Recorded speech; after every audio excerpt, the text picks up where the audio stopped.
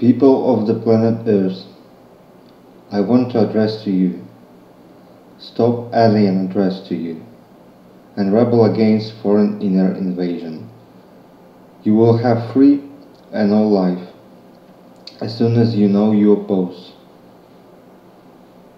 aliens' actions to you on our planet.